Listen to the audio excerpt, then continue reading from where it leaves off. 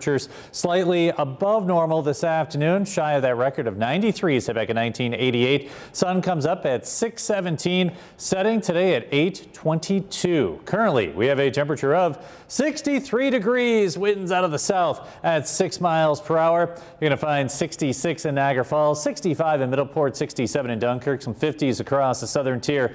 Lake Erie now at 74 degrees, Ontario at 75. Visibility is reduced just a bit down in uh, Uh, parts of Allegany County and toward northern Pennsylvania, but mostly it'll be a pretty quiet start to your day. Looking at our skycast, you'll see temperatures in the upper 70s by lunchtime with partly sunny skies. We top out near 80 degrees this afternoon.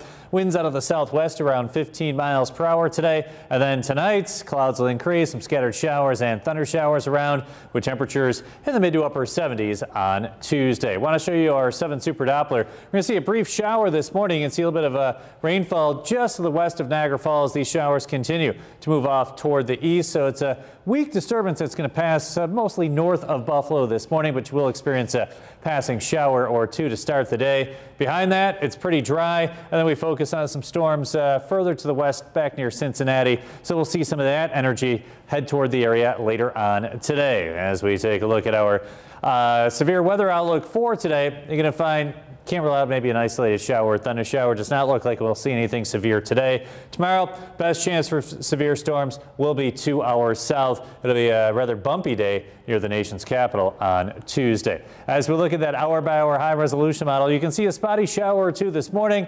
Partly sunny skies, maybe a passing shower or two as we head into early this evening.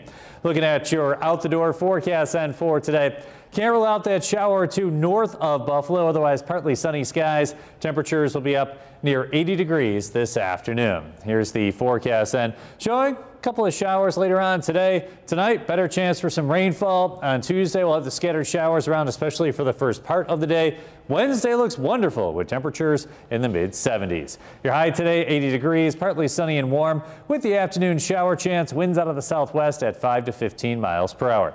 Tonight, we're in the mid 60s, mostly cloudy with scattered showers and thunder showers. Here's your 7 first alert, seven day forecast. Again, we'll have that brief shower this morning with highs near 80. Slight chance for a shower later today. Scattered showers and thunder.